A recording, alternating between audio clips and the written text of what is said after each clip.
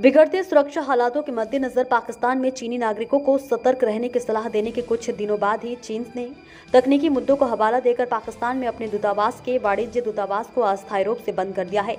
चीनी दूतावास ने अपनी वेबसाइट पर जारी सूचना में कहा है कि तकनीकी मुद्दों के कारण चीनी दूतावास का वाणिज्य खंड 13 फरवरी 2023 से अगली सूचना तक अस्थायी रूप से बंद रहेगा।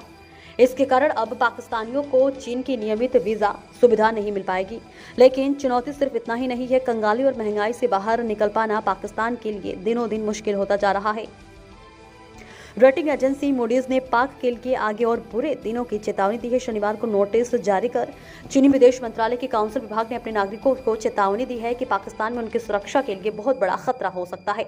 चीन सरकार ने यह कदम ऐसे समय पर उठाया है जब एक दिन पहले ही शहबाज सरकार ने दावा किया था कि वह देश के नागरिकों और विदेशियों सभी की सुरक्षा करेगी। पाकिस्तान के गृह मंत्री राना सनाउल्लाह ने ग्वादर में बारह फरवरी को अधिकारियों को निर्देश दिया था कि वह पाकिस्तानियों और विदेशी नागरिकों को पूरी सुरक्षा मुहैया कराएँगे। करेंगे पाकिस्तान इन दिनों आतंकवाद के साथ भयंकर आर्थिक तंगी से जूझ रहा है। दिवालिया होने के कगार पर खड़ा पाकिस्तान आईएमएफ से एक दशमलव एक बिलियन डॉलर कर्ज की, रुकी हुई किस्त जारी करने की गुहार लगा रहा है। आईएमएफ के सामने समर्पण करते हुए पाकिस्तान सरकार ने सोमवार को संसद का विशेष सत्र बुलाकर कानून संशोधन विधेयक 2023 पेश किया, जिसमें करीब 170 अरब रुपए के नए कर प्रस्ताव है। कंगाली के कगार पर पहुँच चुके पाकिस्तान को अगर आईएमएफ से मदद नहीं मिली तो देश में भुखमरी के हालात बन सकते हैं।